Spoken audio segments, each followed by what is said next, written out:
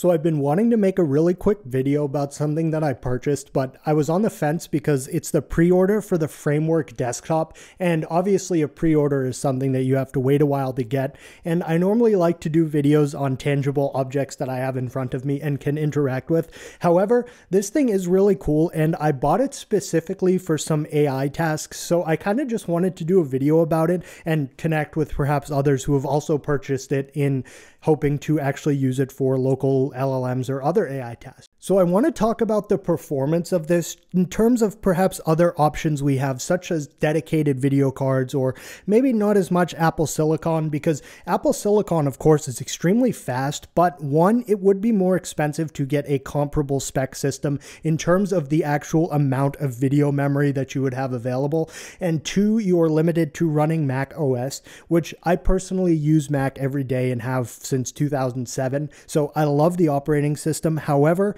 when it comes to actually doing local AI stuff, I massively prefer being able to just use Ubuntu. And that is a big draw of this for me. On top of that, in Ubuntu, you will actually be able to use up to, I think, 111 or 112 gigabytes of RAM for VRAM, quote unquote, which basically means that's how much RAM you will have available to use to run LLMs, which is really exciting.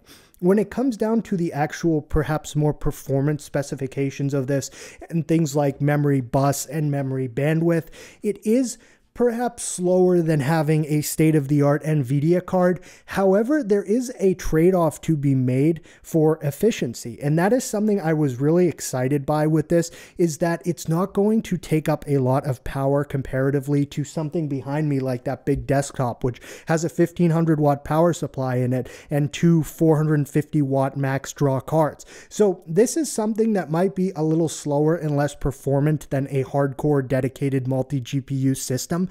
But on the other side of that coin, it is going to sip power comparatively. It's going to be quiet, and it's probably just going to be nicer to actually have in your room while you're using it for AI tasks than some gigantic behemoth.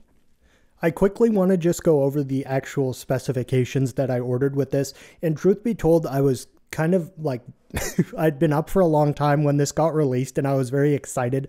So I may have just kind of gone down and sequentially checked off a lot of the options that perhaps I don't necessarily need. But first and foremost, the important spec that I purchased and that I think of a lot of other folks who are going to want this for AI will likely have purchased is the top memory configuration or the top end one, which has the Ryzen AI Max Plus 395, of course, with the 128 gigabytes of memory. For storage, I just got something, but again, I will probably end up adding my own storage into this in some way, as a lot of local models are very large in size. Um, especially for ones that will actually be able to be run on this, which are larger. So I just got a generic 500 gig NVMe from WD. I did actually go with the Noctua fan for this, which is the kind of cool tan and brown looking fan. However, I did also get the translucent left panel, and I'm now wondering if perhaps that would look better with an RGB fan. So I may end up perhaps swapping that, or I might just get another fan later on so I can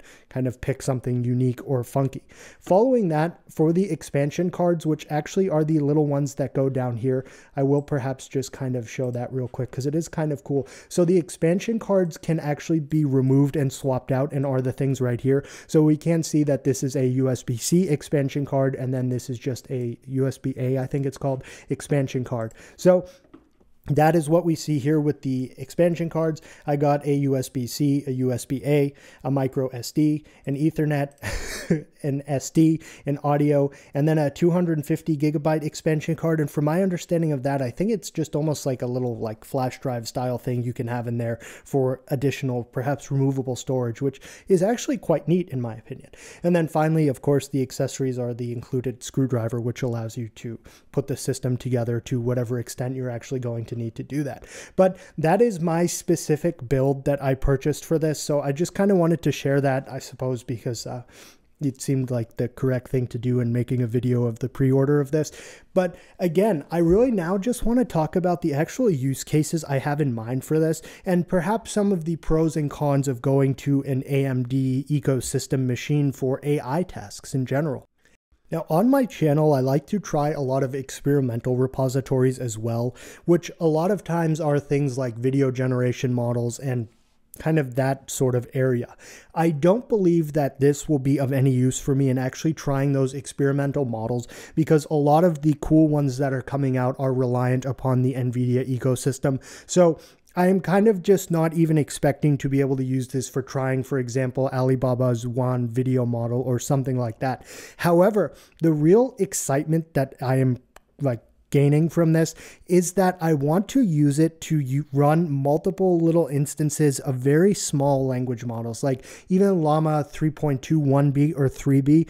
I don't actually know how many of those I can run at the same time you may think like wouldn't that just be limited by the available amount of video memory? And i don't think that is the case. I do believe there would be other kind of computational bottlenecks in how many concurrent instances of llms running you could have at the same time. But the real reason i actually am interested in that is because a lot of some of the things i like to work on that i don't really post on the channel are unity or indie games where each of the npcs have their own personas given to them by ai so I think it would actually be really exciting and fun to have this system where I could have an individual tiny LLM running for each NPC. I know that may seem perhaps counterintuitive and odd when you could just kind of prompt the same LLM for a different NPC's persona, but I do have some perhaps unique ideas that I want to do with this, and being able to run a bunch of tiny 1 billion or 2 billion or 3 billion parameter LLMs at the same time will really allow me to experiment a lot with some of the Unity game and thing like that ideas that I have and like to make. The other thing that I'm really interested in this for is actually for agentic tasks. Now, a lot of the agentic models that I've played with, like most recently it was Microsoft's OmniParser and then OmniTool and OmniBox, if you want to run them locally, they need pretty beefy vision models. So I am actually hoping that I'll be able to run a quant of some Qwen 2.5 VL72B on this, which I otherwise right now cannot even run, even with the dual 3090 system behind me. So I am actually really excited for this in terms of its ability to hold larger VLMs or vision language models. And I don't actually have a lot of research or pertinent knowledge on getting those working on AMD or things like that. However, that is something I'm going to be exploring more. And again, I really think that this will allow a lot of cool local agentic solutions to be functioning. And on top of that, when it comes to actually having agents like that and autonomously performing ones, being able to have a system that will run them quietly and power efficiently opens up a lot of possibilities, in my opinion. I have actually originally built the dual 3060 12 gig system you've seen on my channel to run AI agentic tasks 24 7. But to have this to actually do that is extremely exciting to me and something that I think is an unexplored area of interest for these big unified memory systems in general. So I'm really excited for that. And even if it's just having like an AI go on and like troll around using OmniParser playing RuneScape and just doing gibberish, regardless of what it is, being able to run that for long periods of time power efficiently and quietly is something that excites me a ton and is probably one of the first things I'm going to jump right into and do when I get this system.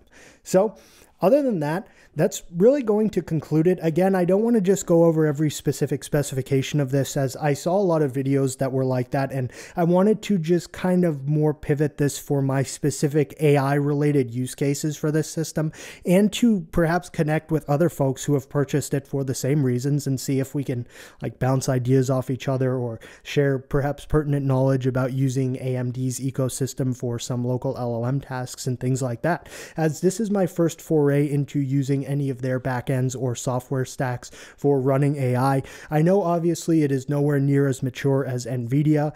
And with things like Project Digits coming out, that is also something to consider and be excited for. But when I saw this, I wanted to jump on it because it really meshed with me. And I think I'll be able to put this to good use regardless of what I end up like doing with it.